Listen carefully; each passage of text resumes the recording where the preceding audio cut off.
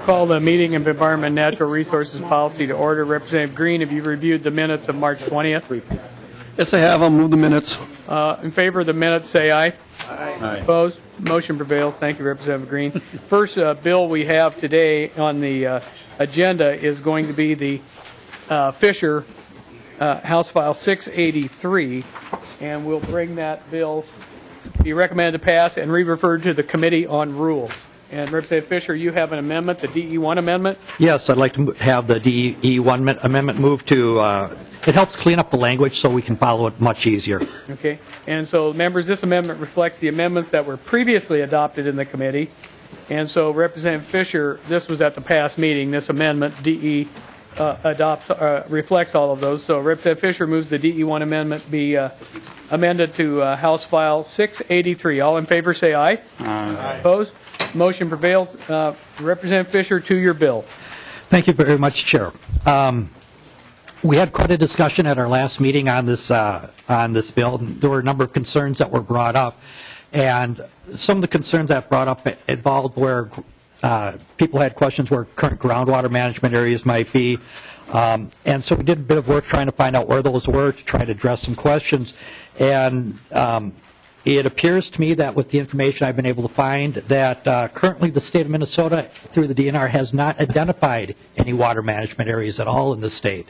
Um, I do know that I received a uh, copy uh, earlier today, an email that had groundwater areas of concern outlined in it. Um, And I think that was emailed out to most of the people, uh, to most of the committee members here. And as I looked at the groundwater areas of concern, this is not something that is outlined in statute. And one of the things, as I looked at this map of uh, groundwater areas of concern that uh, kind of concerned me a little bit, is I know that they've had issues down at- in the city of Worthington, and that area doesn't even show up on this map. And uh, so I, I, I'm, I'm just at a loss, as I was expecting to be able to have a bill to come through to, um, you know, give us tools to start addressing uh, groundwater sustainability. And I find out that right now, through the DNR, they don't have any areas that are currently established. Um, And I know that's critical for some of our members here to find out how that's going to apply. And I talked to Representative uh, Fabian and McNamara earlier, and they had a number of concerns that I was not able to address with the bill that I have right now. And as much as it kills me to say this, I would recommend that instead of moving forward, we lay this on the table until we can get some more answers out of the DNR as to where areas of uh, uh, sustainability, uh, water management areas are. I'm, um, I'm, I'm just very frustrated by what I found out so far.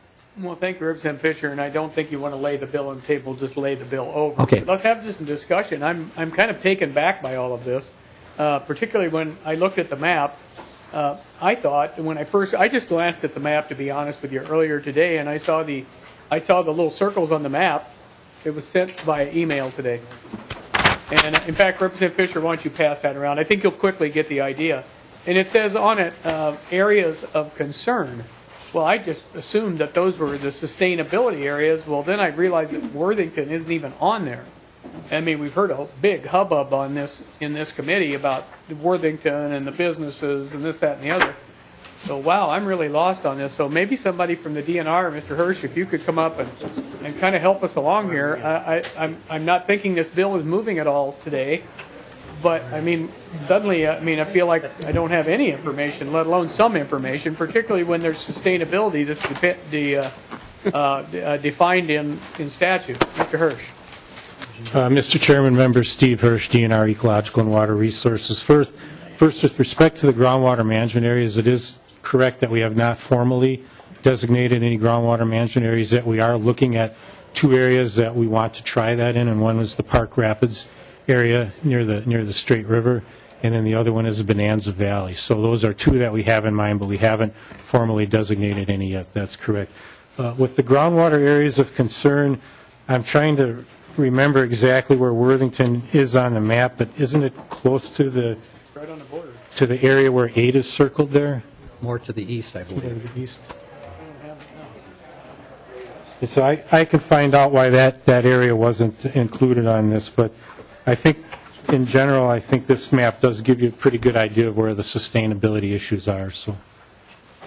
And then, uh, yeah, here, yeah. Well, no, I don't think, that- personally, I don't think that it that eight catches Worthington, but I could stand corrected on that. Uh, Mr. Chairman, you're correct, that uh, Mr. Meyer just showed me the map, so it's a little bit to the east. So, um, is there any idea, uh, Representative Fischer or Mr. Hirsch, is there any idea when some of these critical areas, I mean, like White Bear Lake, I think we've heard just voluminous information about the White Bear Lake community and shipping water to other communities and the water lake level going down and a variety of different testimony here. When is the DNR going to know these things? And I just all of a sudden feel like we don't have any information. Well, Mr. Chairman, with regard to White Bear Lake, I think we've got a growing body of information that's going to help us look at solutions there. And I think that's, you know, certainly one of the issues that, that DNR has been struggling with and that we've talked about is that we do not have enough information to manage our groundwater resources. So we're, know, we're in, we're in complete agreement that information is lacking. But, you know, what I would say with regard to groundwater management areas, we do intend to look at those two areas I mentioned, but even in areas where we don't have groundwater management areas, we've resolved that we need to manage groundwater differently than we have in the past and more sustainably. So even if we don't have a groundwater management area, we need to do business differently, particularly in areas where we have sustainability issues. We're not going to be able to designate a groundwater management area in all the areas you see circled here on the state, at least, at least not right away. Uh, And, you know, with, with regard to White Bear Lake and the metro area in general, there are a number of water sustainability issues with the groundwater sources in the metro area. And at least our, our initial take on that is that rather than try to designate a groundwater management in that area, that, because we've got Metropolitan Council that is, you know, very heavily involved in water supply issues, and we've got the local units of government, that the groundwater um, management area model may not be as good for the metropolitan area, and it may be more about getting all the necessary partners together and figuring out how we're going to manage groundwater more sustainably. Representative Fischer, would it be something that maybe we should consider here?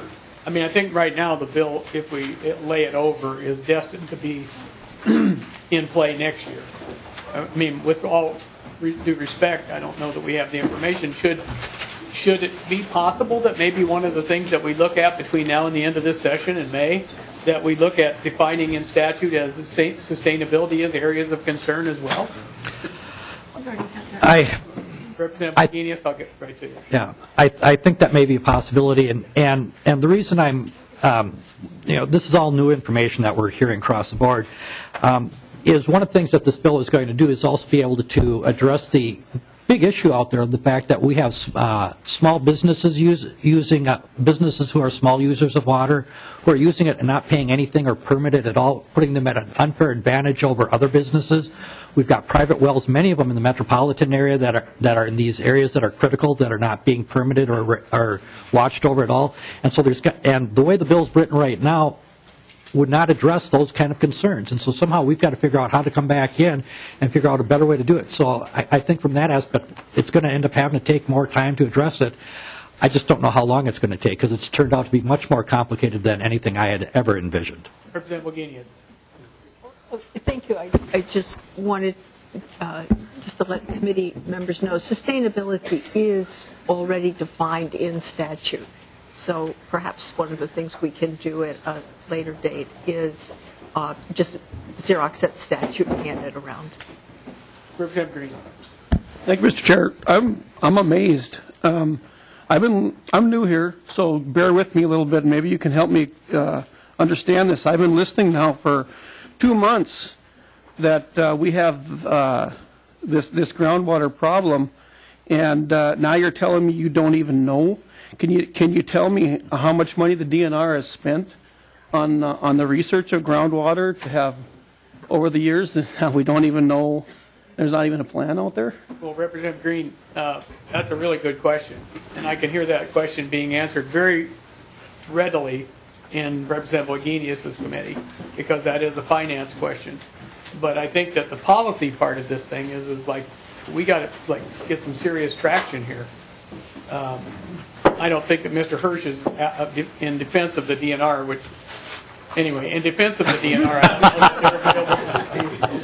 I don't know that they're here today to be able to answer that question. It's a very, very good question, but uh, I- I'm, frankly, I'm just totally blown away. In fact, I actually I think if I were trying to pass this bill in my freshman year, I'd be up there at that stand trying to do every possible thing I could get it done to get it passed.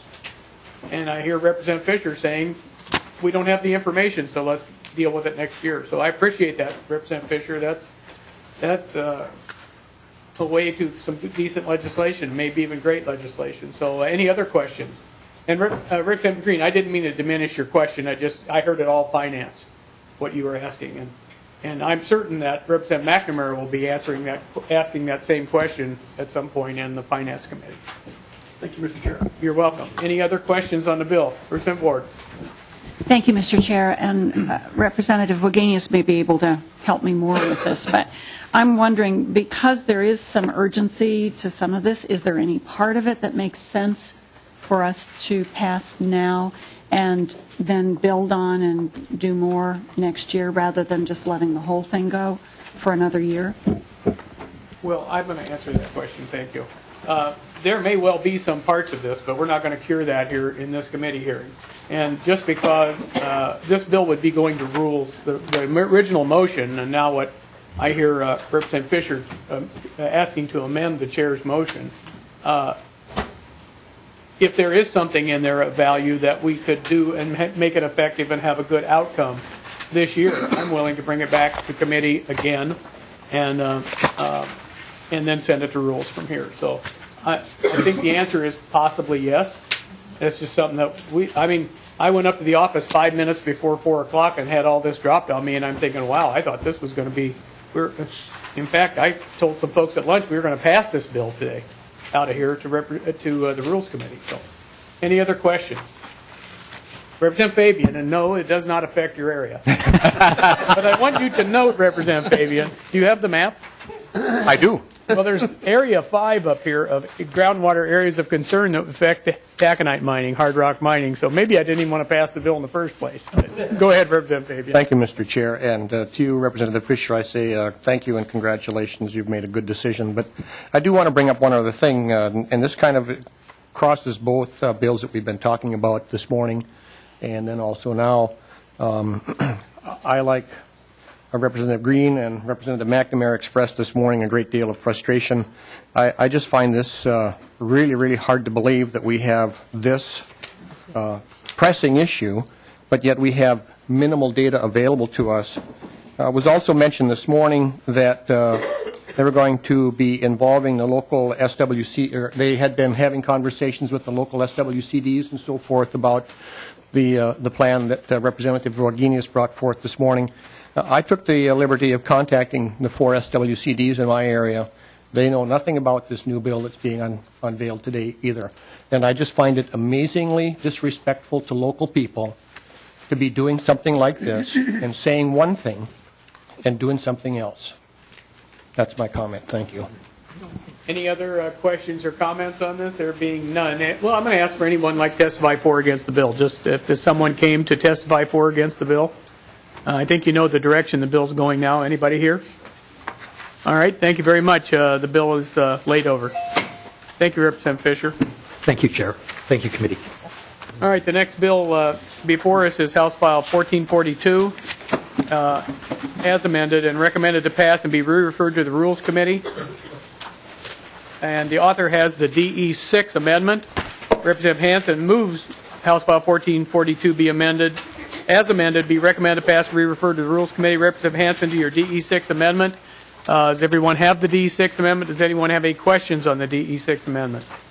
Being none, we'll adopt it to get it in the shape the author would like it. All in favor, say aye. Aye. Opposed, motion prevails. Representative Hansen, 21442 as amended. Thank you, Mr. Chair. And uh, the DE6, you can tell it's been a work in progress uh, where we've had multiple versions as we've been working with uh, various interests in the agency on trying to refine this proposal. And uh, uh, I think we've got it in a pretty good shape. I'm going to have uh, uh, Mr. Erdman walk through the uh, the bill.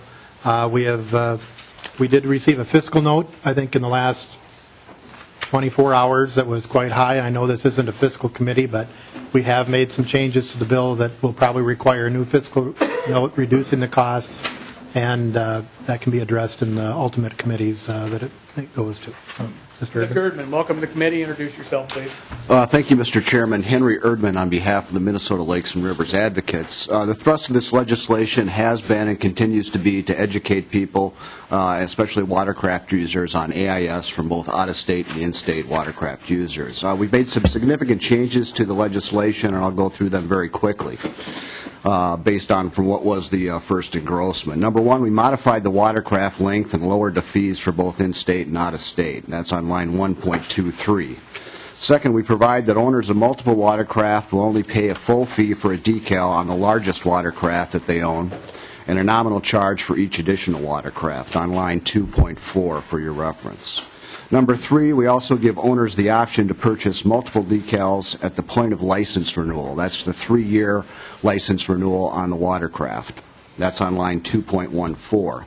Number four, provides for electronic purchase of decals. This is especially important for out-of-state users who could perhaps buy the temporary decal in another state and then come to Minnesota waters.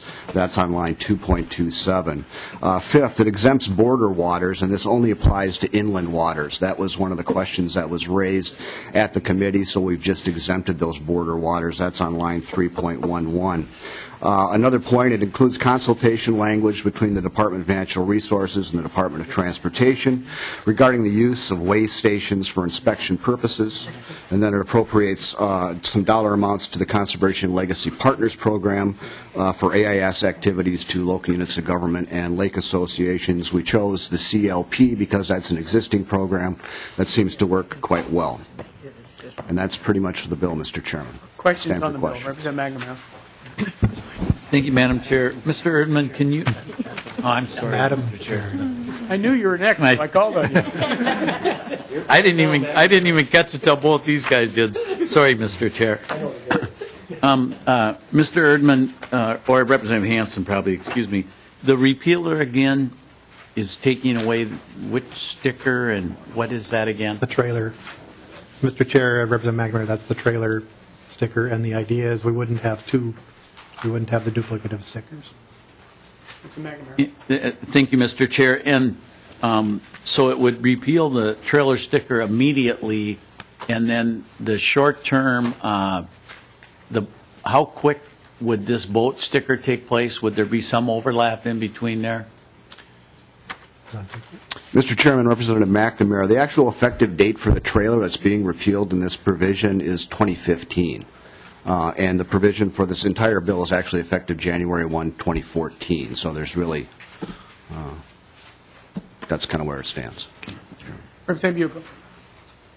Thank you, Mr. Chair. Uh, I think Repre- Representative Hansen. Um, we- Last time we talked about uh, border waters, uh, St. Croix River, um, possibly up, you know, Namakan and Crane and all of that stuff.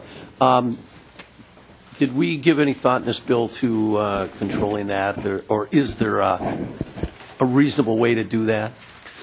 Representative Hansen. Mr. Chair and and uh, Representative Uglem, uh, since we met last, we asked the agency for some ideas on that, and uh, what you see is the recommendation. That there's no way to do it? That that was their recommendation, is to just exempt them, and, I mean, I think, On here, mark I think we could continue to think about it, but um, we don't want to let the the exception or the challenge get in the way of our our effort. Understand. Thank you, Mr. Chair. Thank you. Good question, Representative Bugle and Representative Hansen. So a Canadian boat that comes across and is not on a border water, uh, let's say went to Pelican Lake and Orr, which is not a border water, they would have to have the appropriate stickers, correct? Correct. And if they were on Namakan Lake, where we already have spiny water flea, they wouldn't have to have the, the, the sticker, is that correct? That's correct. Now, I think you see uh, Representative Uglem and those, uh, what the complexity is of, of these international waters particularly, or uh, waters that have multiple states on them. So, uh, Representative Fabian. Thank you, Mr. Chair. And, and this question may be for DNR, I'm not sure, but why are we, why are we phasing out the trailer and putting the sticker on the boat? Um, If, if someone uh, has a boat that sits at their dock all the time, and all they ever do is pull it out, and they don't, literally don't trailer it, um, w- why wouldn't we keep the sticker on the trailer instead of putting it on the boat? I don't get this. Re- Mr. Erdman.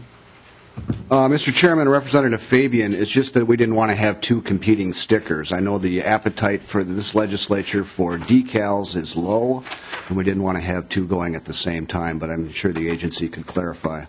Representative Fabian. Okay, and I understand that, but why, my main question is, is why are we going away from the trailer sticker to a boat sticker? As I understand this legislation, we are phasing out the trailer sticker in 2015.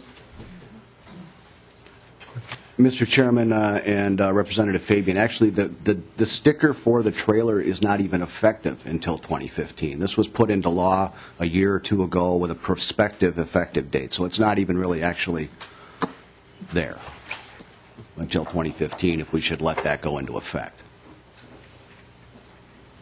So, uh, Representative Hansen, um, a resort operator on Mille Lacs that has 20 boats, 16-foot Lunds or Crestliners or whatever they may be, tell me about how that's going to work. Uh, You know, if you buy a dealer, if you're a dealer, you can have one dealer plate, you can have it on, uh, you know, multiple boats at different times. How How is that going to work?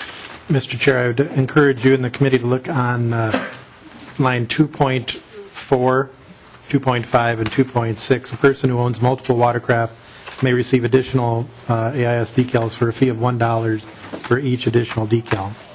So they you. pay one, and then Yep. Representative Russo.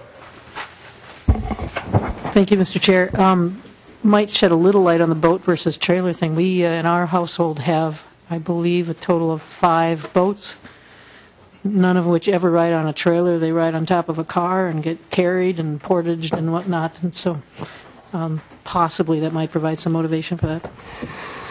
And, you know, actually, I'm the other way around. I have five boats and only one trailer. Yeah. And, you know, they go from shore, sitting on shore on blocks, into the lake and back out of the lake, back onto blocks in the, in the wintertime. So, I mean, that's kind of, you know, can be complicated. I mean, I, I know that it's something to think about. Questions? Representative, uh, Representative Bugle. Well, Mr. Chair, um, um, so how do you do that with your airplane then? You put the, uh, put the boats on the airplane too then? Well, that's actually, Representative and that's a good question, because, uh, you know, I've learned that at- up in Voyageurs National Park, they've actually banned the use of uh, floatplane aircraft on the interior lakes of the Kabetogama Peninsula, as well as Macu- uh, certainly Little Trout Lake, I believe, and maybe even possibly Mukooda. I haven't stayed up that close to it, but uh, I'm suspecting that uh, these uh, things that infest the waters could be transferred off the floats of a float aircraft, you know, I mean, they're not dry inside, and you pump the floats to, you know, a lot of times before you fly them, I mean, there's an opportunity there too. And someone actually asked me, who was against this bill, who knows that I have an airplane on floats, wanted to know if I was willing to put a sticker on my aircraft. I said, well, it isn't legal to put it on there. Uh, But uh, anyway, you get the point. It's a good question. How, how, uh, there's a lot of ways to spread aquatic invasive species, and I mean, I don't think we got a bill that covers every single one of them. Representative Hansen. Mr. Chair, you're correct, and I, I didn't think I heard you say you were in favor of banning float planes going into lakes. I, I don't think I heard that, so. I, I, well, Representative Han- Representative Hansen, I actually fought tooth and nail with the park over that, because, uh, but they've also banned all boats on those lakes that I described, except park boats. So now the park puts boats there that they own, and then you reserve and use them, rather than allowing canoes, for example, to be taken into those lakes. Not all lakes, I don't remember, on the Kabetogama Peninsula, certainly. Other questions, Representative McNamara. Thank you, Mr. Chair. Mr. Chair, I'm wondering if we could hear from the DNR. I- I'm kind of confused just over the boat sticker and the trailer sticker, because we made significant changes last year, and I I just am wondering how this works with the plan that we put in place. I think it was last year, not two years ago. We had discussion, because originally we used to have a trailer sticker, and it was, I can't remember if it was voluntary or or- or what, or we, we've gone back and forth, and I'm just wondering where it's at and what the department's position is on this. Mr. Meyer, welcome, welcome to the committee. Mr. Chairman, thank you for the record. Bob Meyer, Department of Natural Resources. In the, I could probably write a fact sheet on the history of AIS boat decals since the past couple of years, but we started off with a mandatory sticker um, that was, looked like a navigational type sticker, it was about this big, that you were required to have in your boat on the first AIS bill that we had that had the AIS laws on there. That then was repealed the following year, and we came up with the trailer decal. Uh, And actually, that was the year that we were able to get the increased enforcement, the increased penalties as well. So now, the, the trailer decal was to require a person to have the same type of decal to place on their trailer, and that, that effective date wasn't until, as Mr. Erdman stated, 2015. Now, what we're talking about here is a new, different decal that would be required on all boats using public waters within the state, excluding the border waters. That, the- it provides several different opportunities. One is it, it requires a person to understand and read the AIS laws every year.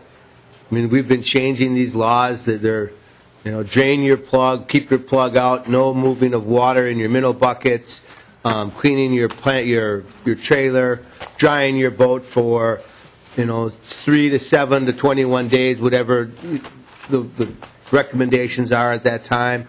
Um, if you have a wakeboard, a wake boat, you know, you have certain things you need to make sure you're moving water out of those ballast tanks, those ballast floats. It, it becomes very complicated. So the, the bill, as written, would require a person to understand those rules on a yearly basis. It also provides some funding, increased funding level. And I think one of the bigger things it does is captures non-resident boats coming into the state, because it does require them to have a decal as well. And these non-resident users, we, we don't have a good estimate of how many people are bringing their boats, but Representative Dill, I know at your house, you probably see hundreds of boats a day going through to Canada primarily, or to Lake of the Woods, but there are a number of boats that travel through the state. Uh, if you look at the, the, the waters in Detroit Lakes, Alexandria, and those, those resorting communities, those lake communities, a number of boats are coming in from out of state to be used in inland waters. So this does require those non-resident users to be familiar with those rules and regulations of the state of Minnesota, and also to capture some kind of money from those boaters to pay for aquatic invasive species management activities. Representative McNamara. Well, thank you, Mr. Chair. Does the department support um, the repealer to get rid of the trailer sticker and now go to a boat sticker? Mr. Meyer. Mr. Chairman, members, we don't see the need to have both of them. If the, we do see the need to have one, okay, if, if, if this bill passes, yes. If this bill doesn't pass, we want to keep the, the current trailer sticker. A new way, a new way to say they're neutral. I'd take that as an endorsement. Um, uh, um, Mr. Meyer, um, on page two, uh, line 14, would the department's plan be to some way, it, it looks like I can still buy my three-year watercraft license, and then I would buy the stickers for three years for my boat. Would you then, would I do something each year so that I was aware of uh, the opportunity of taking the classes? Would uh, you, would I have to go online or something, or what, what are the thoughts? Or maybe that hasn't been thought out, maybe Mr. Erdman, it's maybe not a question for you, Mr. Meyer. Mr. Meyer. Mr. Chairman, Representative McNamara, we're working with the author and the stakeholders on this bill, and that is something that I think we, we would need to figure out as this bill moves forward.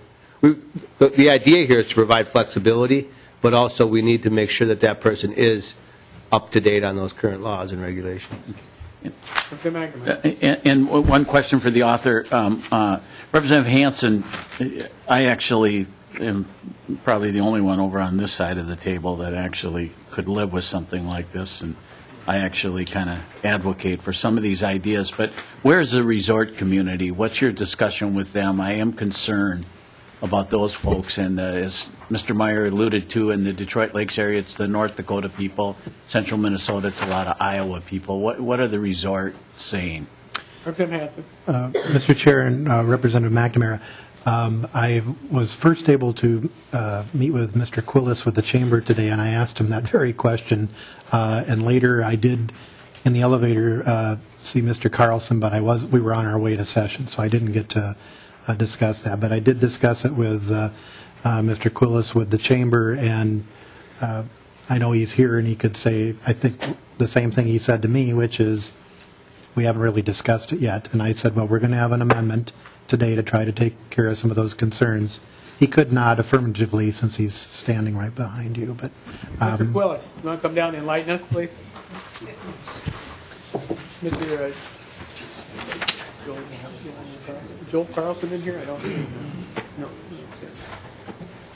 Mr. Chairman, members of the committee, my name is Tony Kwilas. I'll be representing Hospitality Minnesota, which is the umbrella organization of the Resorts Campgrounds, Lodging Association, and Resorts.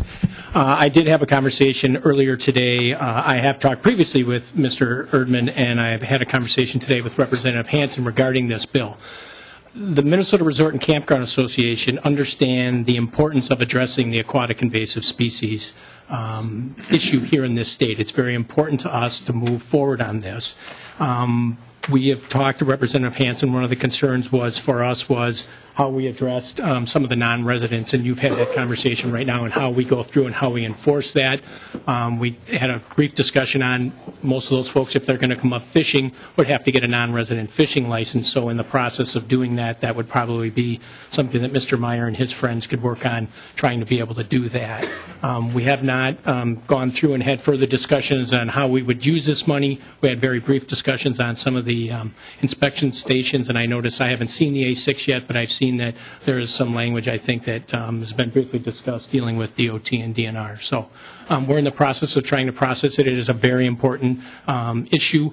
Um, It is a yearly deal, so we've had some discussions earlier about, I think um, Representative Johnson talked about how boat licenses in the state are staggered every three years. So if the resort community, for some of the larger ones, um, that's usually a concern, but not um, if we're going to talk about a yearly process, uh, yearly sticker right here, Mr. Chair. Questions for Mr. Kwilas? Representative Fabian.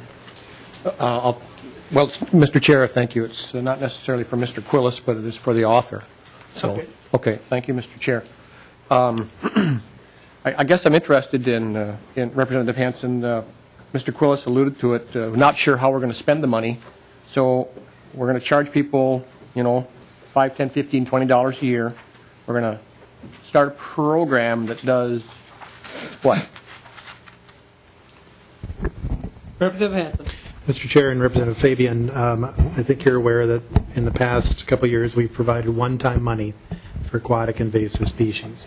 And uh, there there are proposals in the governor's budget and supplemental dollars, and we'll be seeing those in the, in the Finance Committee of trying to continue to respond to aquatic invasive species.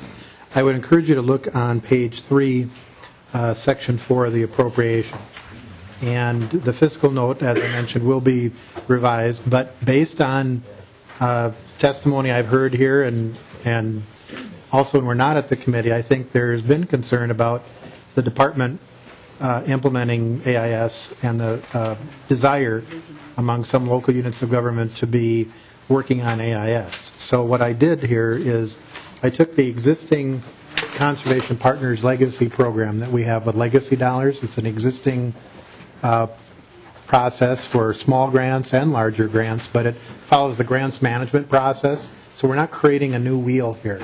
But then to have that, to have part of this appropriation go to that, uh, so that it could be used for local units of government to try to implement uh, AIS uh, educational items, uh, work with lake associations. Eh, So it's not only the DNR that's providing that, but we are going to, we're going to, if we want to continue where we're at, into the, into the future, we're going to have to find something besides one-time money. Thank you, Mr. Chair. I think it would be helpful for the entire state of Minnesota if we had some sort of a detailed plan from DNR. This is what we're going to do to get after this problem. And um, we we just seem to be throwing things around and hoping that something sticks. And and I and I realize the importance of battling this stuff, but we really need to come up with a detailed plan. This is how the money's going to be used. If we're talking about grant things and empowering local lake associations and so forth, I think those are great ideas. But at some point, we need a plan. We're appropriating money. We've done it for the last two years. We're going to do it again this year. Um, but I, I have some reservations about um, how some of this stuff gets done. I do have a question for uh, DNR, Mr. Chair, if I may. Which division? Uh, enforcement. Ah, good, because I have a question as well. Lieutenant Colonel Rodmen Smith, if you would come up here, please.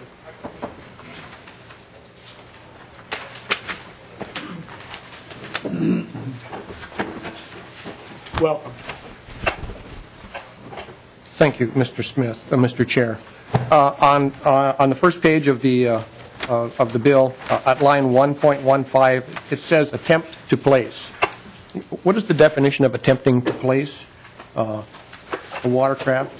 Mr. Chair, for the record, Lieutenant Colonel Rodmen Smith, Assistant Director for DNR Enforcement.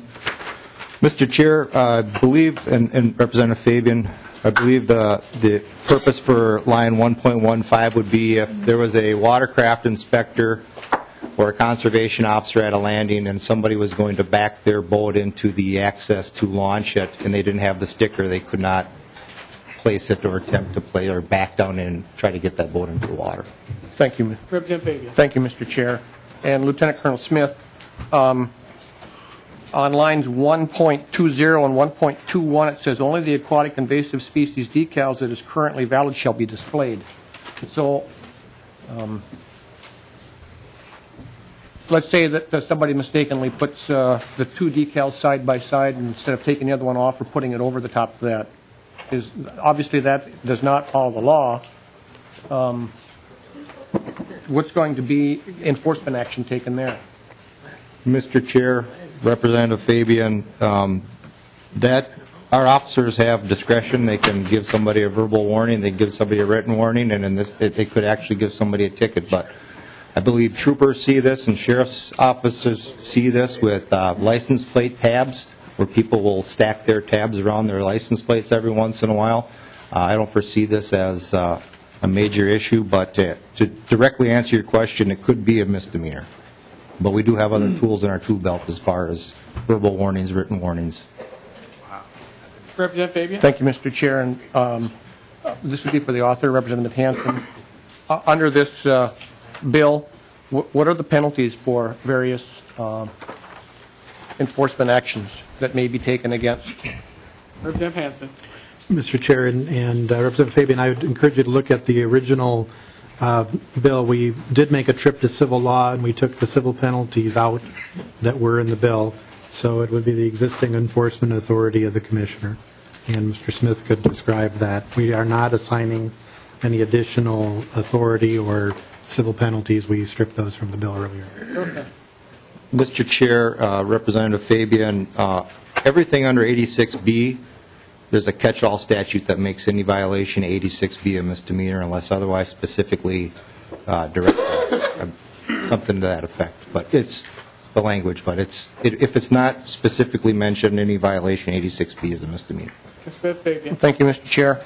Uh, Lieutenant Colonel Smith, so it's a misdemeanor, what's the fine, how much? Uh, Mr. Chair, uh, Representative Fabian, misdemeanor would be the traditional misdemeanor, which would include up to, boy, you're going to put me on the spot, uh, up to, up to, I believe, a $3,000 fine and 90 days in jail, I believe, is a misdemeanor, but more than likely, it'll be put on some type of bail schedule through the, uh, through the court system, and it'd probably be 100 bucks or something to that effect. Would be pretty much uh, in line with other violations of this type and scope. Uh, Lieutenant Colonel Smith, um, tell me how a, uh, so a boat is being operated by someone that doesn't own it, and how that plays out, and then second, who gets the ticket for that? Um, And then, uh, the second question I would have is a resort owns multiple boats, as you're very familiar with, and one of them doesn't have a sticker on it, and a guest has rented the boat, and under bare Boat Charter laws, they then are the captain, essentially, i.e. the owner. Who would be cited for, for that? Mr. Chair, uh, to answer the first part of your question, um, without the resort issue, um, it would be, the person operating the boat would be responsible for having that decal on there, so it would be no different than if I borrowed your car and your tabs were expired and somebody stopped me, I would be responsible since I'm operating that car for having the entire expired tabs, just like it would be for a boat if somebody was, oper- if I was operating your boat and the boat tabs were expired. So the person operating it would be responsible for that. Um, It technically, that would also hold true for the person that's renting the watercraft from uh, a resort. Um, The person that's operating the boat the captain of the boat, they're operating it, they would have, they'd be responsible for having that title. But again, our officers can use discretion in the field, they can give verbal warnings, they can, they can give written warnings, and- and they can, of course, issue citations, so. Well, speaking of discretion, we're going to call in Representative Cornish. former conservation officer, state of Minnesota. See, Let's hear about some discretion. Well, Mr. Chair, members, just first, first of all, a question, DNR enforcement. Uh, Colonel, you, you guys didn't ask for this. You didn't come begging for this authority or dream up this aquatic invasive species extra authority on your own, did you? I mean, it came from some other division, didn't it? Uh, Mr. Chair, uh, Representative Cornish, I- the division realizes the importance of aquatic invasive species and our role in that and making sure that we help uh, curb the spread of invasive species. Uh, This is, this bill here, we have been working with the stakeholders on and and the author on, so. Representative Corn. Well, my point was, is that enforcement isn't looking for ways to, to hit somebody with a new ticket. But the other thing is, on the, on Representative Fabian, the uh, decals is similar to the yearly stickers. I think they have the same language for the decals when you register your boat, is that only one can be displayed. And the reason for that is we would have up to 10 stickers on a boat, and they wouldn't put them on top of each other. They would put them right beside, so they love to have a collection. It was actually illegal, but in 22 years as a conservation officer, I never wrote one ticket. I just say, could you go home and, and uh, sand those off and paint it or something and just have one sticker, and they would usually comply. So I don't know of anybody really, and it could happen, I'm not saying it didn't happen, but for somebody to write a pinch for an extra sticker, I, almost 99% of the time, I think it was a warning, so. That's it. And then, Unless you want the dynamite story. No, I just kidding. we're not doing, be- we're not doing beaver dams today. And I'm not going to ask you about that one inch of uncased, unzipped case on a firearm either. Okay. Representative Cornish.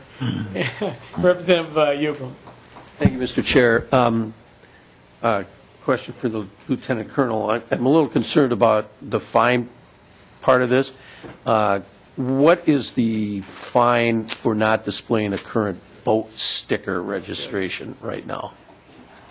Mr. Chair, Representative Uglem, it's a misdemeanor, um, but we have the ability to go through the, I think it's called the Conference of Judges, and then we can request that a, a, a violation of law have a, uh, basically a payable to it, so a person doesn't have to go to court and. Right. Um, I believe that the payable for failure to register your boat, I believe the base fine is $50, but then you have to add on law library fees and court fees and whatnot, and it gets up to over $100. Those are not commonly called the Rukavina fees. He would love those.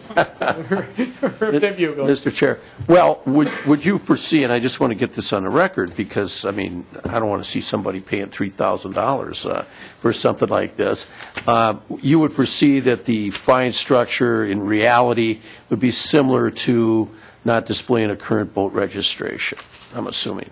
Mr. Chair, Representative Uglem, absolutely. And we work with the Conference of Judges, they approve them, they're- they take into consideration the wide scope, similar, similar actions as you just mentioned. So yes, it would be very similar to that. It would not be, I just, when I I wanted to explain that what what a misdemeanor uh, can go all the way up to, so yes. Very good. Thank you, Mr. Chair. Representative Hackbarth. Well, thank you, Mr. Chair, and in the same regard, uh, not the money so much, but this is not a petty misdemeanor, this is a misdemeanor. And having a misdemeanor on your record is a serious offense to have on your record.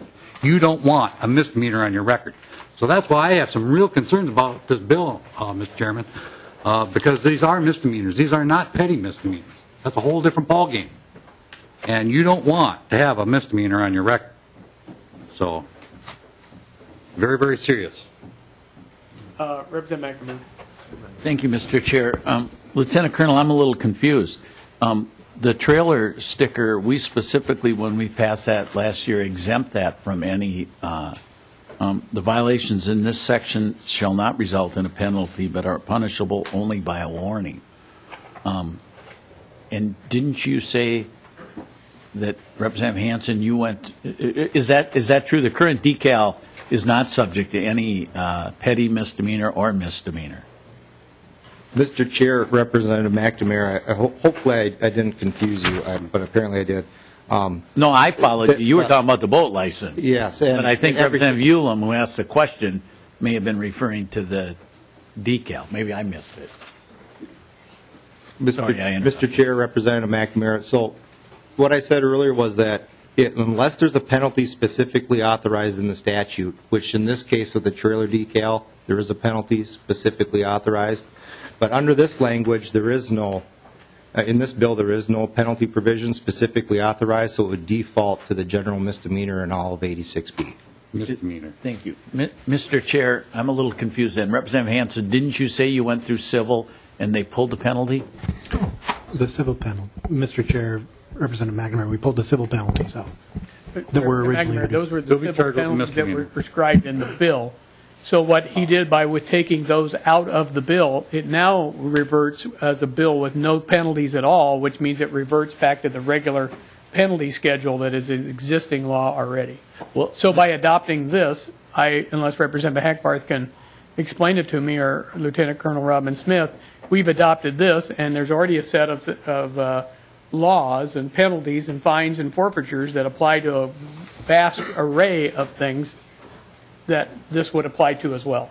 Well- So we're not really cutting any new, are we not cutting any new ground? That's how I feel about it. Well, Mr. Chair, I would say we are cutting new ground, and what I would strongly recommend in the repealer, Representative Hansen, that you consider repealing all of 86B uh, point one three, except paragraph E, which would say violations of this section shall not result in a penalty, but is punishable only by a warning. And I understand, I believe you're going to rules, and then at some point, you're probably going to go to Representative Wagenius's committee where um, a money amendment would be in line. We had quite a discussion that this is a new and evolving thing. The department has said themselves, this has changed like four times in the last four years. The poor voters, uh, where sure, the CO can use their discretion, but the reality, the normal would be to end up with a misdemeanor on your record. And all we got to do is send them to the ELS and, and get the sticker and, and get it taken care of. So I, I hope you'll consider that possibility. I think that would be a lot better if we would. Thank you. Representative Hansen. Mr. Chair and Representative McNamara, um, you know, I'd like to get the bill moving today. I'm willing to work with folks as we go through this. Um, I don't want to make another trip back to civil law uh, or judiciary or any, anywhere else. So, uh, but I, you know, I'll be willing to talk with you about that, uh, but I would like to move the bill today um, and uh, continue that conversation. Okay, anyone to testify for or against the bill here in the audience? Yes, come forward, please. And Mr. Wagner, you had already signed up, so if you could go ahead and take a seat, and maybe uh, Representative Hansen, you can let the lady coming Yeah. forward to have a seat as well.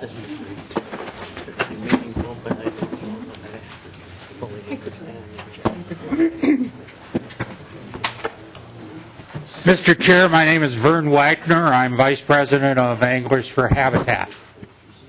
And uh, committee members, and uh, we're here today to talk about some of our concerns with uh, this uh, bill. Um, I'd like to preface my remarks with saying that Anglers for Habitat is strongly in favor of creating a stable funding source for AIS. We're also strongly in favor of uh, educating anglers and boaters and out-of-state uh, folks uh, about the spread of AIS. We assumed that the, there, there is an existing surcharge right now when you register your boat. You, you register your boat for three years and, and you get a $3 surcharge. Well, that $3 is really insufficient. We really thought that the bill that we would be seeing this year would increase that surcharge. That way you could get um, the funding from uh, all of the eight- 850,000 registered boaters. This bill uh, does uh, increase the funding. Um, However, something I learned here is the term "the devil is in the detail" details. So will this sticker, how will this sticker happen? How much will it cost to print the sticker? The sticker we had three years ago was over 300, um, was over $100,000 to get the sticker even to the point where it could be handed out, and then it turned around and we didn't hand them out. So that money was wasted. So if you're going to implement this by January 2014, do we know, will we have the stickers? How much will it cost uh, to print the stickers. Will, will the stickers be everywhere where licenses are sold? Will they just be at the DMVs?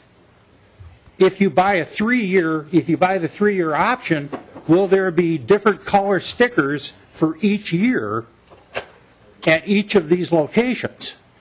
Or will it be a mail system? How much is it going to cost? How much DNR staff is going to be involved? I mean, we just can't hand the DNR this task of coordinating um, 850,000 stickers uh, with their existing staff. And I'm, and I'm surprised they're not responding to that issue. The other concerns we have is if these stickers are going to be printed off the electronic license system, can that even happen? Do we even know? Does, does, does the author of the bill actually understand those printers? Can it print a decal that permanently goes on the boat? Or is this a separate decal? Um, will, will we be able to track any of this? And that's a question I have. Is, is how many out-of-state boater stickers uh, do we, do we know how many we end up selling, end up collecting a fee on? I mean, who, who's going to track this? Who's going to crunch these numbers? What kind of report is going to come back to this committee? That doesn't seem to be in here. Um, the vendor fee, the bill talks about every time the vendor collects his fee, they get a $1 vendor fee for doing it. Is this in addition to the $1 vendor fee that they're already getting for selling the fishing license? Or is this going to be an additional $1? So will they get two bucks for it? And that's not clear um, in this. Um,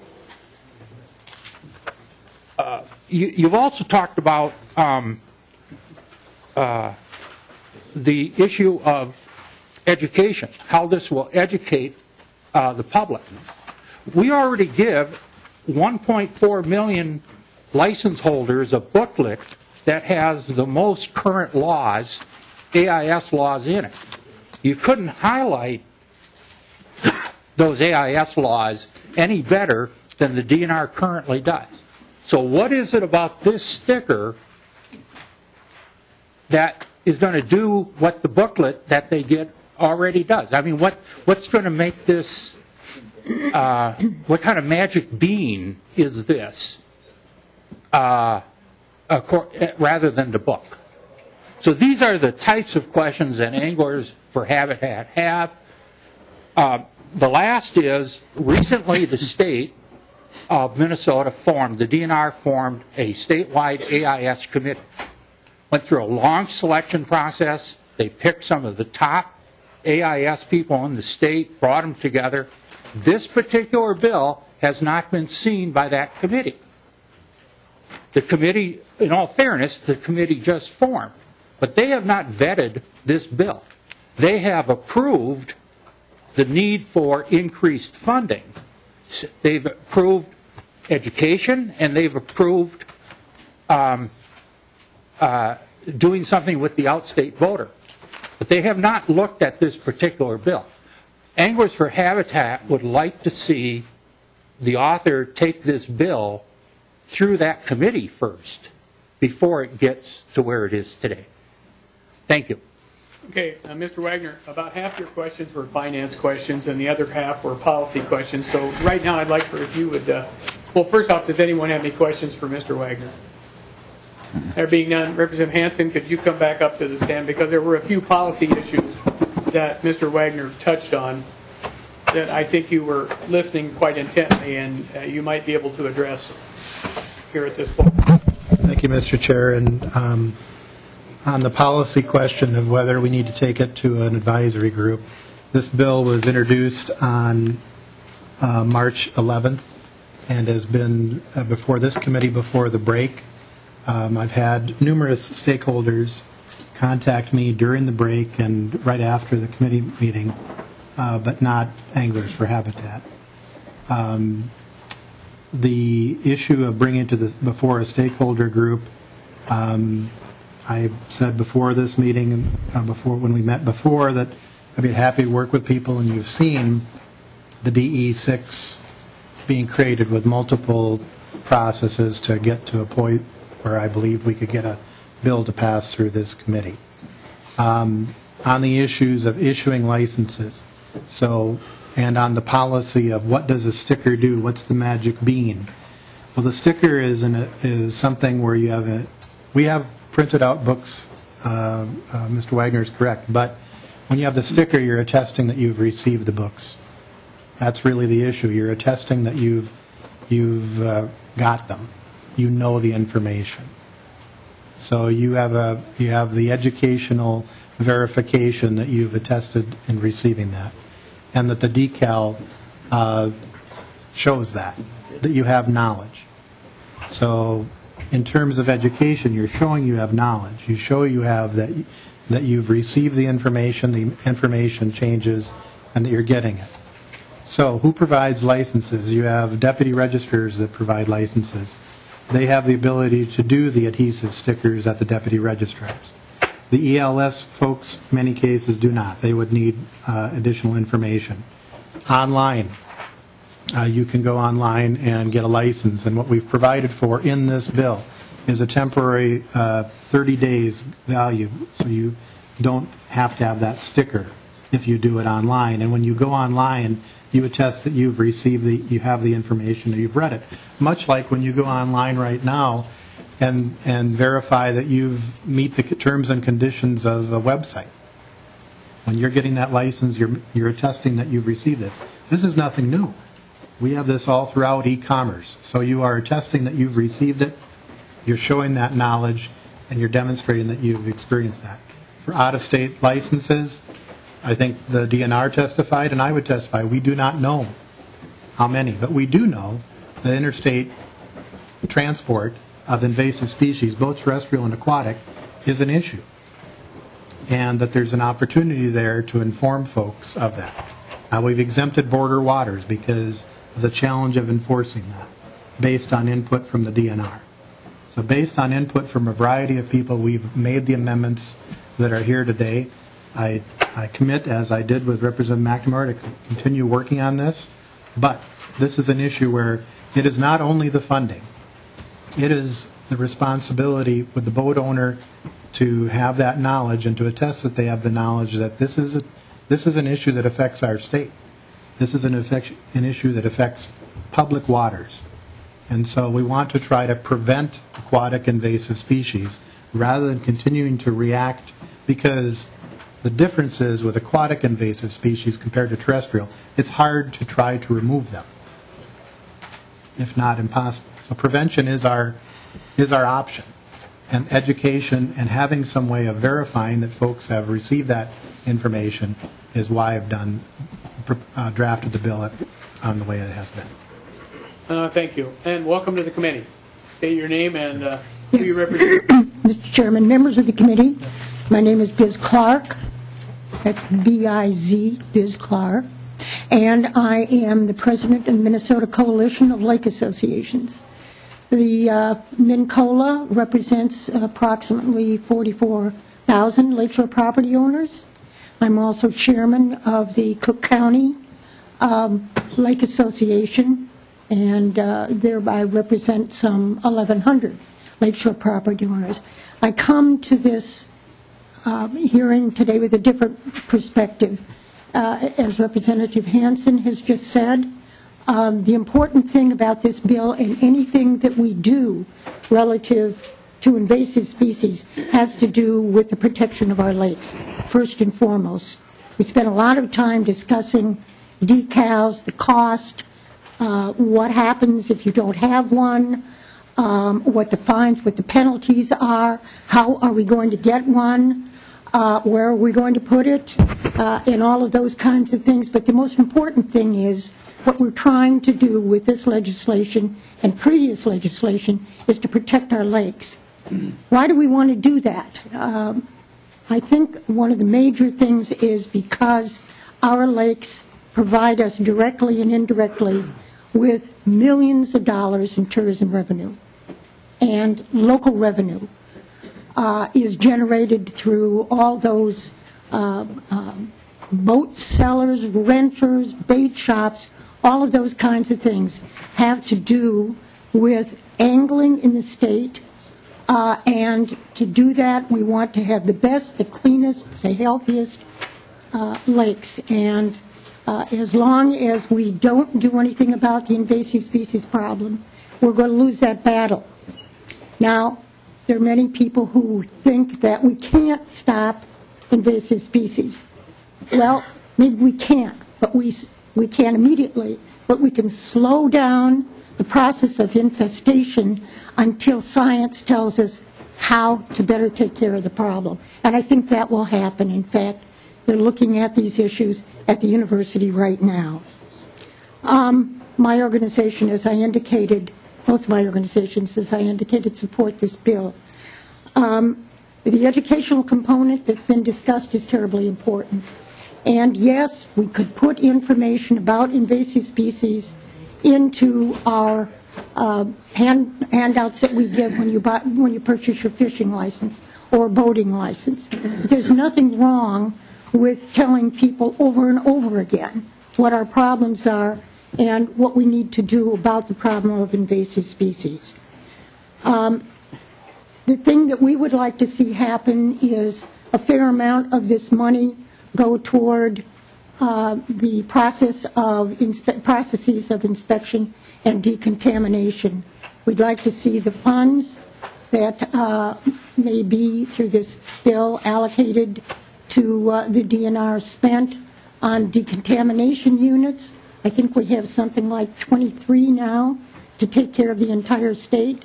I'm from Cook County. We've never seen one of these uh, uh, devices uh, that do the decontamination.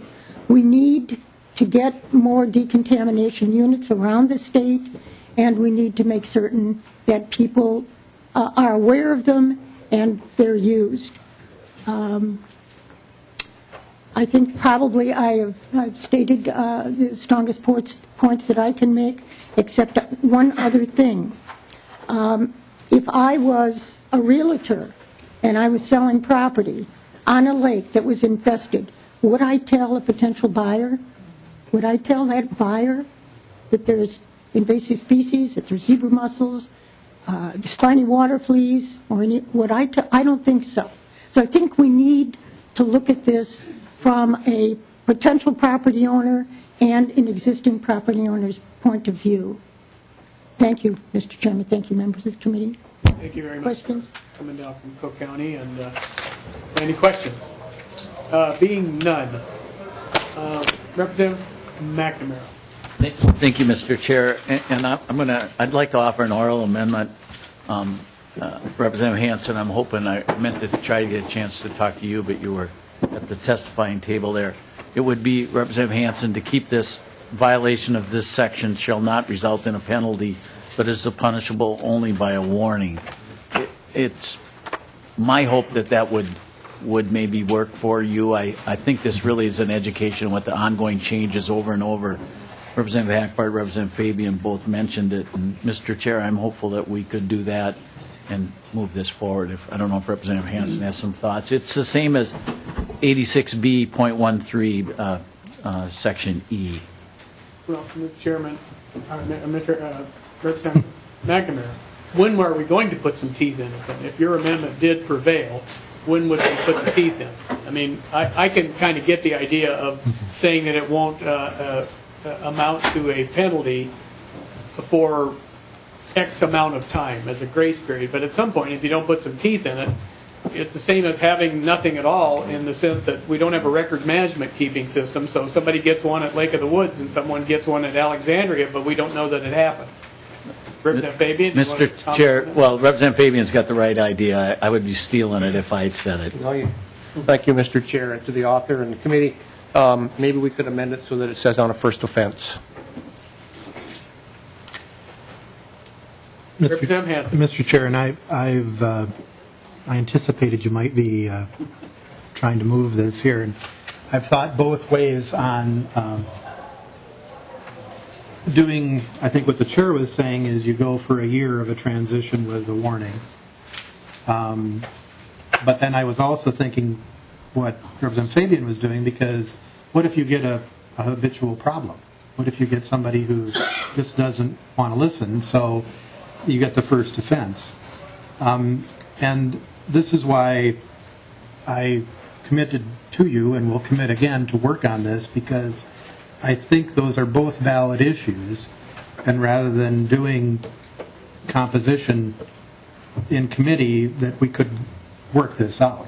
I, I don't want to, I don't want to just have warnings going to someone who is just going to flout it. But I also agree we need to have the, you know, some type of transition period for people to, to learn on it, but it does ultimately need to go into effect. And I think we've done that with other legislation of having a one-year period, et cetera. And I testified in the previous committee that we have an implementation date here of January 1 to help with the educational items. So um, I think both issues are valid, uh, but I'm a little cautious, and I know that, that uh, the chair wants to adjourn on time and we have another bill. So I, I would like to move the bill out, and I would commit to continue to work We on are it. going to move the bill out. And I, Representative McNamara, Representative Fabian, I sincerely, I I just see both sides here, and I want to try to figure out how to So do it right Representative way. McNamara, what is your wish? You know, Madam Chair, I- excuse me, Mr. Chair, that was uncalled for, the second time, the second time in an hour, I I apologize. Um, I- I- I'm more than willing to work with Representative Hansen. The last time he told me this, he did exactly what he said, and it worked out fine. So in the wishes of the committee, I'm fine with uh, just waiting for it to be. Representative Fabian and I, Representative Hackbarth, are all going to see it again, I'm assuming, Representative Wagenius's committee. I really, this is a tough change. You're going to have people come from Iowa and North Dakota. They're not going to know. They deserve a break. Uh, The CO can send them to the Holiday gas station to get the thing. Well, I'm going to, I'm going to, when we pass this bill, I'm going to make sure that Representative Hansen knows that I share your same sentiments. In fact, I think he shares them as well, trying to figure out exactly how to structure this, because it- seeming that it is, uh, frankly, I'm okay with, uh, with a misdemeanor after X number of offenses. I mean, how long do you just keep going on and on and letting people offend things? I mean, at some point, you got to put the, put the plow down. Representative uh. Well, thank you, Mr. Chair, and, uh, and I would like to work with Representative Hansen on this too, and maybe we can work this all out. And uh, I don't like doing things like this on the fly, and I mentioned that to uh, Representative Fabian out in the hall, but um, I would like to work on it and straighten this out. Uh, uh, I- I'm going to oppose the bill, I don't like the bill in the first place, but uh, um, I I- I was talking to Representative Cornish, and uh, if, I think it'd be simpler, rather than doing first offense, all these different things, maybe just make it a petty misdemeanor so it doesn't go on your record, might be a uh, solution to go with. All right, any further questions from the, uh, uh, Representative Cornish? Uh, Mr. Chair, one thing we brought to check out with DNR enforcement in the interim is that the officer has to make the decision there, and I don't know if we're up to the point right now on the computer if we can tell if it's a second offense. I'm getting a head nod no, so we don't know at the time the ticket is issued if it's a second or third offense. So just making a petty misdemeanor seems like it'd make more sense. And I'm hoping that in the near term, in the next year or so, that that problem is alleviated as well, because that's been a long standing. problem. Okay, uh, anyone else in the audience to testify for or against? There being none, uh, uh, Representative Hansen renews his amendment to pass Hou- House File 1442 as amended to the Rules Committee. All in favor, say aye. Aye. Opposed? No. Okay, now to the Persell bill.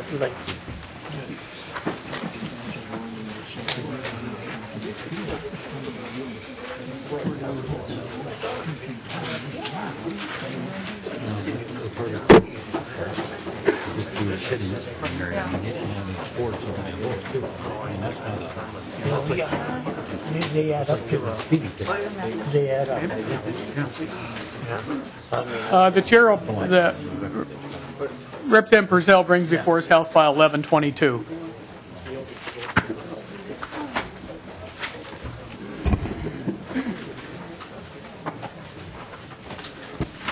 Thank you, Mr. Chair. And uh, Representative uh, Persell, would you like to uh, uh, take care of your oral amendments? Uh, First off, you have the uh, the DE4 amendment. Oral. Yes, sir. um, Do the oral amendments first.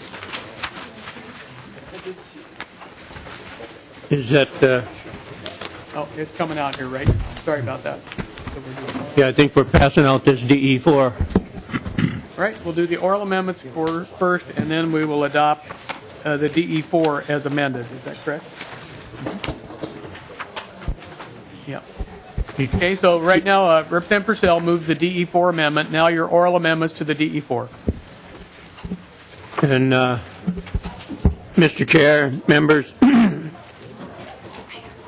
the uh, oral amendment is uh, on uh, page two. I see folks still getting this here. I don't want to rush. It's a one-word deletion, so uh, page two, line 2.3, uh, delete the word specific.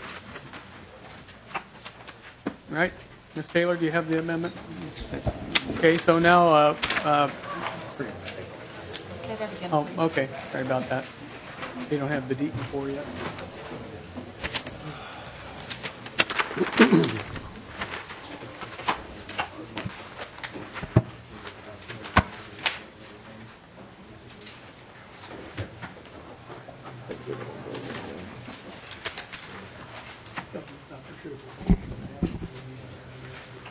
Okay, so everyone has the DE4, line 2.2, I believe it is? 2.3.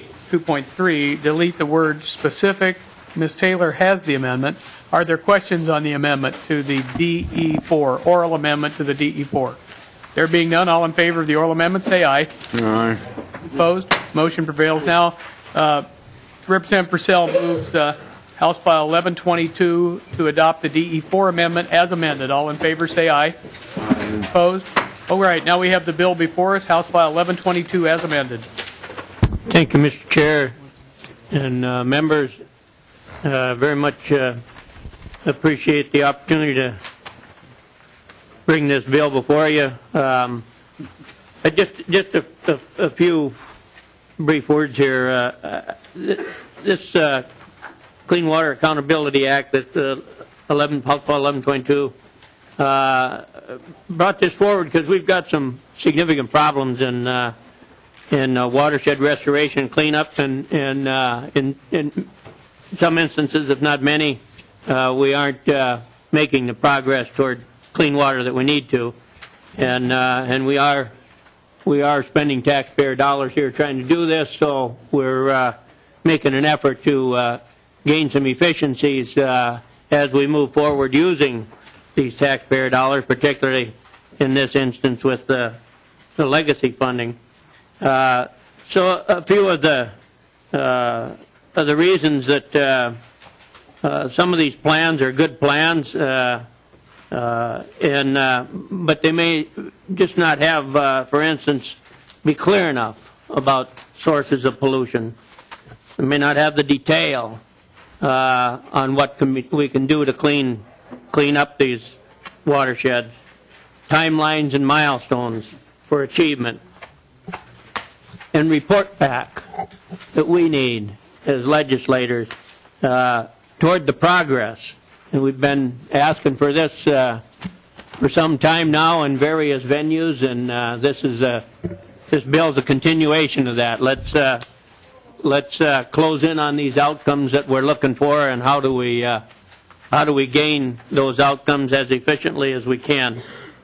And uh, there's uh, one example that I would offer to you, Mr. Chair and members, uh, and this this is uh, an example drawn out of the out of the current information that we have on cleanup plan, and it for the Wild Rice River, which is over by my way, and I've uh, I've riced some of the lake beds along that river, uh, and that that the the cleanup plan says that the water is cloudy from upland soil erosion and stream bank erosion.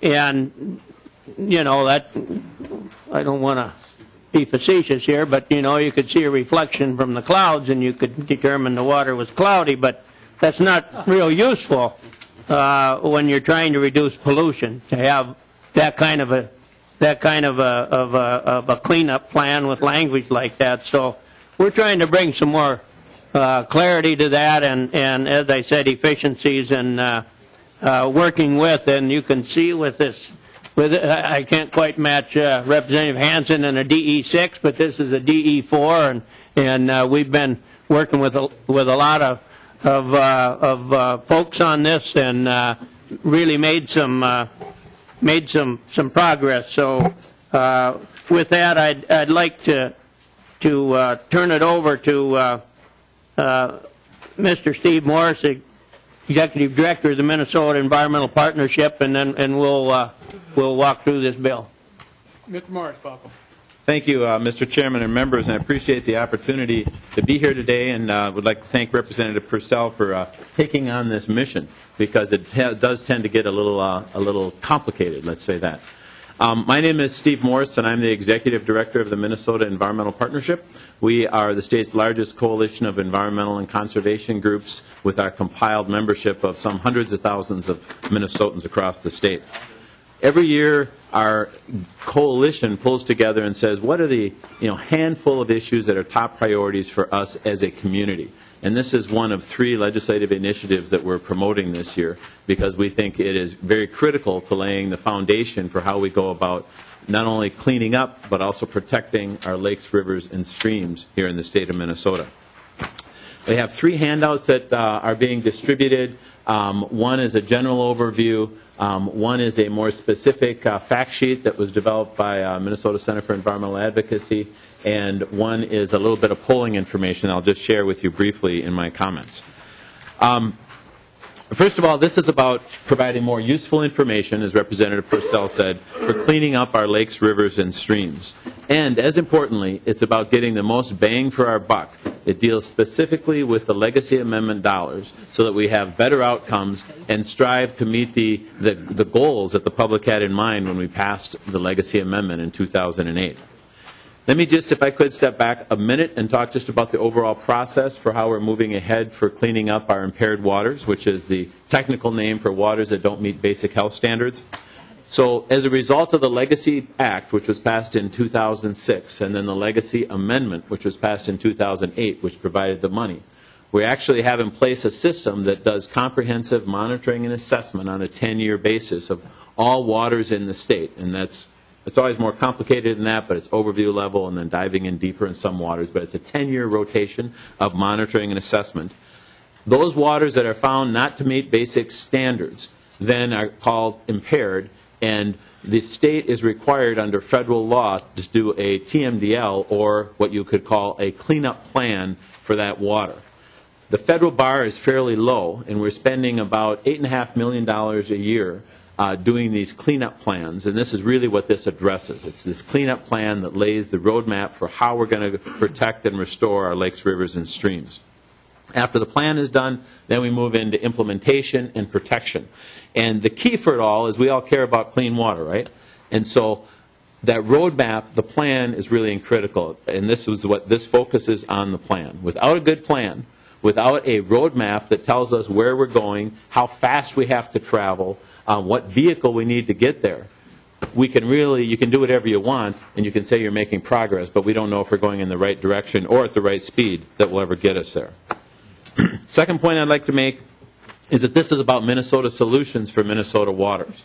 The federal government sets a fairly low bar that says you have to do a plan, figure out where the pollution's coming from, doesn't really put any teeth into any implementation or say you really have to do much in order to clean up the waters that are the, the pollution that's coming from non-point sources, which is other than industrial pipes, basically, or cities.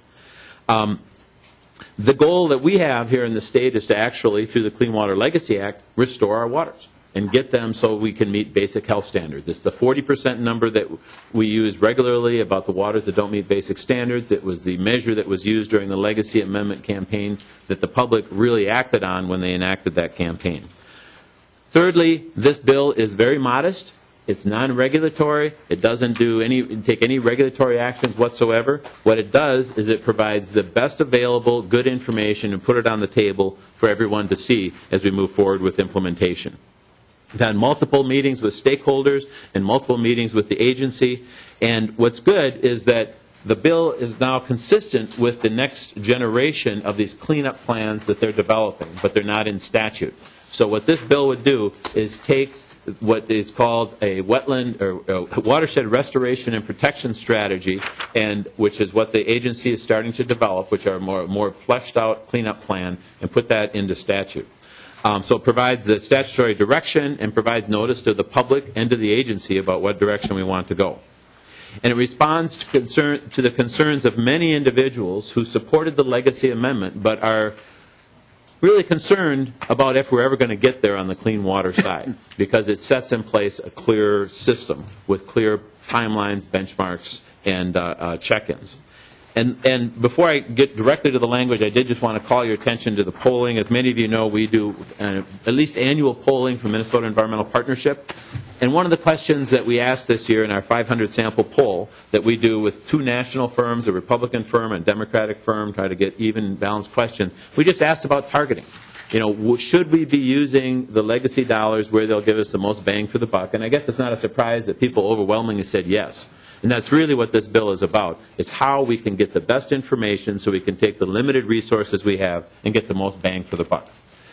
Mr. Chairman, those are the general comments, and I can touch kind of briefly on the sections of the bill, and if you want me to go into more detail or others, I'll be happy to do that. Let's go to questions and answers. Representative Corn. Uh, Mr. Chair, members, um, uh, Mr. Morris, the first thing I would uh, just was going to critique one of the handouts is since uh, this is going to ag, Mr. Chair? Uh, Rules. Rules? Okay, will it eventually go to ag? Uh, That will be a decision the Rules Committee makes. Okay, I would advise that because the- you could have written your um, paper here a little softer. You start right out railing on farms, and since you're going to have to work with the agricultural community during this process, uh, the first thing it says is uh, caused by non-point resources uh, or sources, mainly agricultural operations that discharge sediment fertilizers, pesticides, and bacteria into our rivers. I mean, it make it look like they're going up with a dump truck and discharging things into the river, which isn't true. It just it could have been worded a little different in how you're going to work with them. I wouldn't start right off on a position paper blaming them for 86% of the trouble and a predetermined uh, a conclusion before you start off. And the other question, I guess, was already answered. Uh, hopefully, I, I would like to see this go to ag anyway and let the uh, farm community at least get some input into it. So, thank you. And Ms. Mr. Chairman, would uh, just- and we have sat down with uh, representatives of the farm community, and they have some of the concerns about the lack of specificity that Representative Persell was discussing, um, because it's really hard to respond when you just get test results that just say, gee, it's up in this watershed. And so um, we have had many discussions with the agriculture community. It is all in the PCA area of law, Representative Cornish, and I appreciate your comments about um, not wanting to set people too much on guard, and, and um, I'll take those to heart. Uh, the numbers that we cite in there are factual numbers from the PCA, because it is, I think everyone recognizes the agricultural sector is a very big part of our problem. We're not proposing any regulation here. I, I think what we're trying to do is get good information on the table, so together we can figure out what are the next steps that make sense. Oh, Mr. Chair, I would just, like the PCA says sometimes about mining and things, I would probably question whether there were factual, um, 86% on factual to coming from farms. I think that the, probably the agriculture community, the scientists would probably differ with that um, percentage a little bit, but um, hopefully the decisions that will come out of this will be good science and good fact and not just what we think is happening out there. But Thank you, Mr. Chair. Um, I have a question for you. Now, with the, uh, the RAPS strategies uh, here, the, the, uh, who's going to develop them? Or, uh, let's just say you have a large farm that's, uh, that is polluting the Minnesota River, uh, and, and you're, you're identified as a source and everything else. Is this individual going to be going to an engineering firm to develop this, this, this, these strategies and these containments and buffers and everything else? What's the process going to be? And second part of my question is, is one year enough time for this to happen? Morris. And um, thank you, Mr. Chairman and Representative Uglem? Uglem. Uglem, Uglem, sorry. Um, The last question first. Um, Currently, the TMDLs are embodied in the actual WRAPs as the agency is developing them, so that's actually uh, with a safety margin built in. They're doing them uh, uh, contemporaneously at the same time right now. And so um, it's a little bit of a safety factor, but we put that in there to make sure we, we do want to get the WRAPs done, just in case they start to lag or something, so that we tie them with the TMDLs. But currently, they're faster than that. Um, on your, on your other question, you seem to be asking about specific practices or specific projects on specific farms. And this is, this is um, all state policy. Um, and it will not get into prescribing practices on any individual farms. What it will do on a watershed level, and it's already a process that's underway, is say, you know, if the concern is um, uh, sediment, as an example, or whatever the uh, the pollutant of concern is, um, it'll say, this is where we are, this is where we need to be. These are the top practices that um, the state recommends that they think makes sense. The state says makes sense. Um, and then we want to get, have, we're asking the state to put all that together and say, how much of that would you have to do over how much time and how much would it cost to actually get us to our goal? So we don't just put these goals out there that are just you know, kind of theoretical. But the actual decisions about what practices to be done on what parcel are done in the implementation phase, which goes to BWSR and then working with local units of government. So it's not, we can't at the state level have them prescribing what's going to happen and individual parcels and who's going to do what. That's not the intention. But we do want them to look at a model and say, if you did this many things, we should theoretically meet this goal, but not select where, go, what happens in each parcel or design practices. Representative McNamara. Thank you, Mr. Chair. Mr. Chair, I'm wondering, are we, are we going to hear from MPCA just quick? I just was curious. We can, we have about 15 minutes uh, to go, and if we have to, we'll lay the bill over until tomorrow. Um, eh, Further questions? Representative Uglem, did you have a follow-up? No, Mr. Chair, that's fine. Thank you. Representative Fabian. Thank you, Mr. Chair. And Mr. Morris, you said that you meant, uh, you mentioned in your testimony that you have um, met with the farm groups. Um, Can you name the groups that you've met with for me, please? Morris? Um, Mr. Chairman, um, Representative Fabian, um, we've met uh, several times with uh, Farmers Union, um, at least once, if not more, with uh, Farm Bureau, have been the major, we've met with the general farm groups, had some more casual discussions with some of the commodity groups, um, but um, more, more, more uh, intensively with the general farm groups. Thank you, Mr. Chair. And uh, you- there's a lot of discussion here right now about involvement of uh, watersheds and so forth. Um, What discussions have you had with the watersheds? Um, Mr. uh, Chairman and Representative Fabian, um, casual discussions, and there are others who could maybe talk to that. Um, Because we're not changing anything that the watersheds do, um, um, just talk to Mr. Bone outside. I- I- I- He's aware of the bill, but it it doesn't involve them directly in in terms of changing what they do on the ground. Thank you, Mr. Chair. Well, then, how does it affect, I mean, you've been mentioning them, how do, how does it affect them?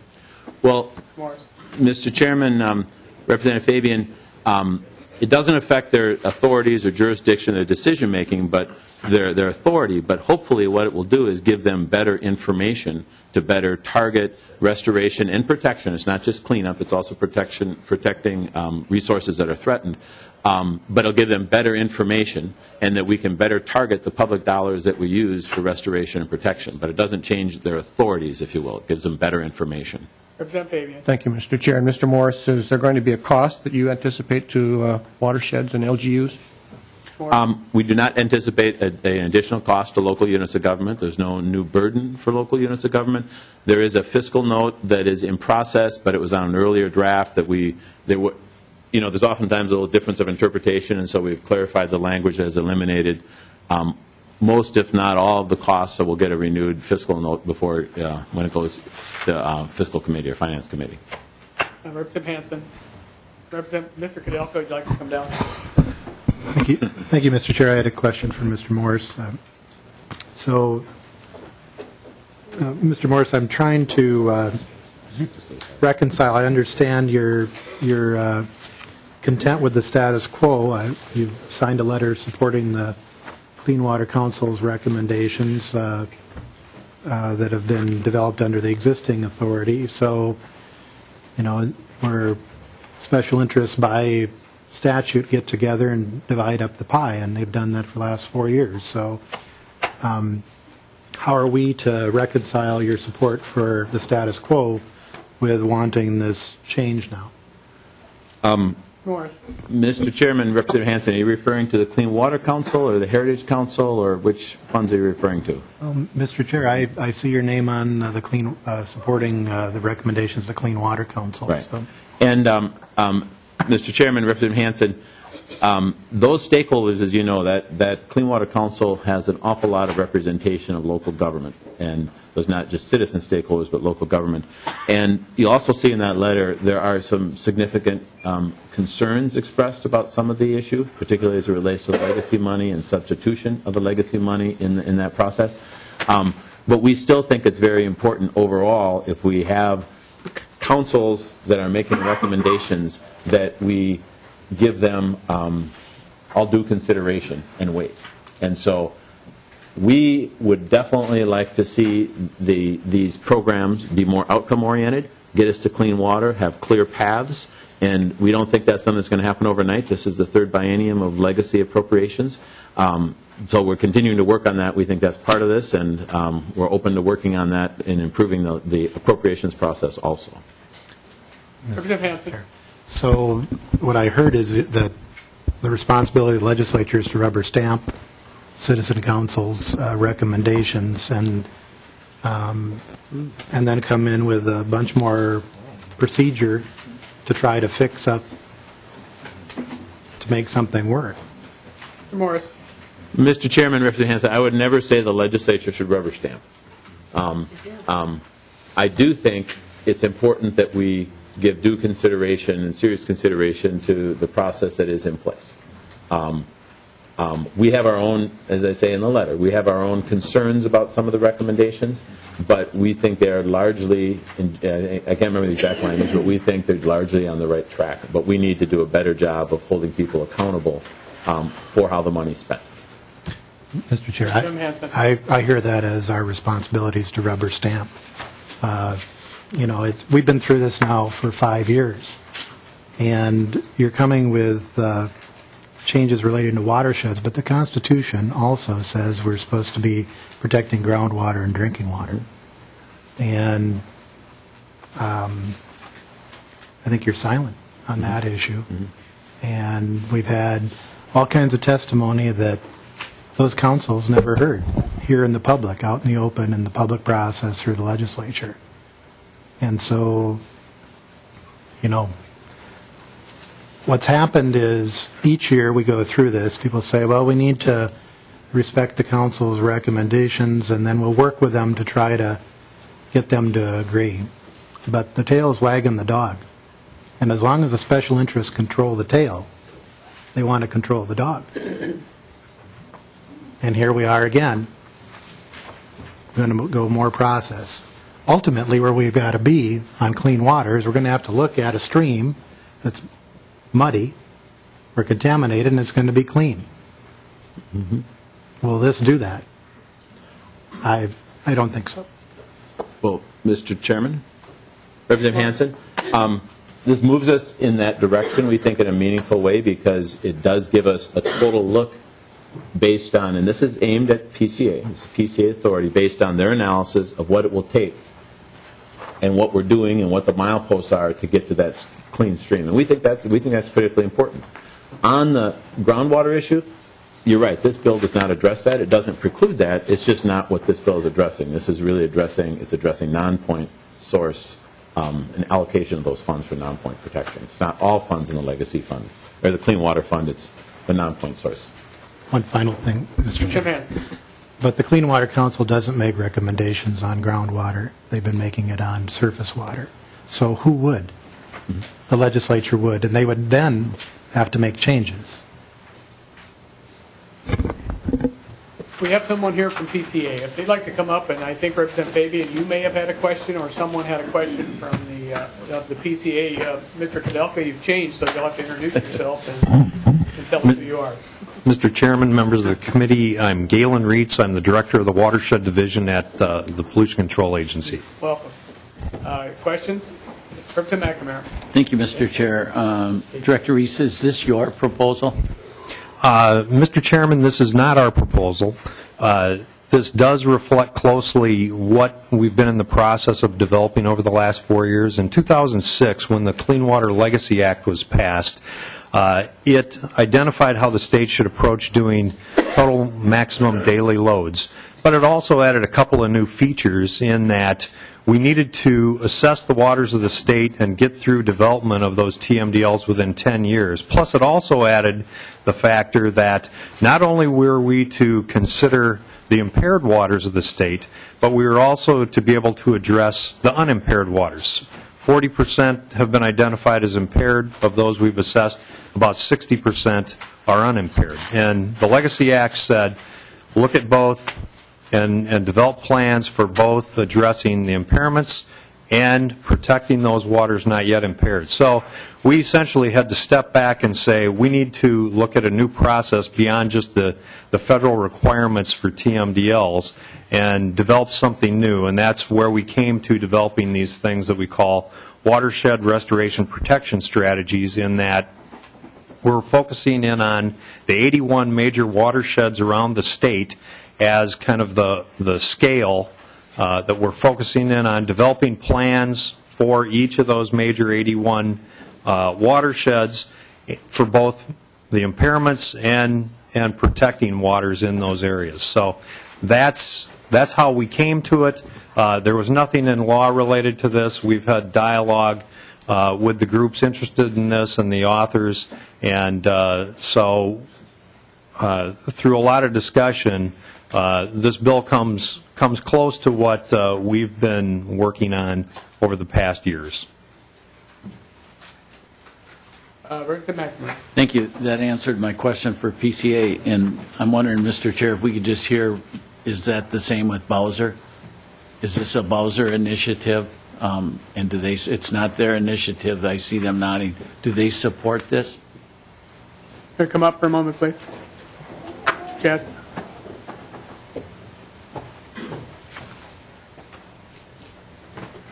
Mr. Jaschke, welcome.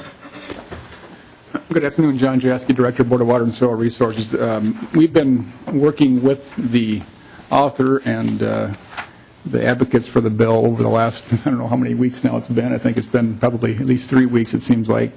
Um, It's uh, getting better each time. That's a good sign. It is not an agency bill, um, but we're working with them to try and make it a a good bill. Representative Fabian? Representative McNamara? Mr. Chair, just real quickly then, uh, Director Jaschke, it's got a ways to go yet, based on what you're saying? Uh, Mr. Chairman, Representative McNamara, you know, I I would think so, uh, particularly the last uh, item, you know, we are planning a meeting tomorrow to talk about that that one thing in particular, Maybe some other things that will also be in discussion, but, uh, uh, so yes, I think, speaking to that Section 4 in particular, there is more work to do on that to make it, make it workable. Representative? Thank you, Mr. Chair. And Mr. Jaschke, uh, I'm I'm curious uh, to, you know, when you identify uh, non-point sources of pollution, and you don't have to have a NPDES permit, um, can you give me some examples of what that would be? Mr. Jaschke? Uh, Mr. Chairman, Representative Fabian, uh, perhaps others could do better than I. Um, My recollection on the permits are that if you're a municipality that's subject to an MS4 requirements, you have to get a permit. If you're doing a project that uh, impacts an acre or more of uh, of disturbance on the soil, I think you have to get a construction site permit. So there's, and there's also industrial permits, all of which in some way, shape, or form fall under the NPDES permit. But I would ask the PCA personnel to speak to that explicitly. That's their responsibility. Okay, the uh, bill is laid over. We'll take up the bill the first thing uh, tomorrow, 4 o'clock, so members save your uh, information for tomorrow, a continuation of the hearing. Thank you. Meeting adjourned.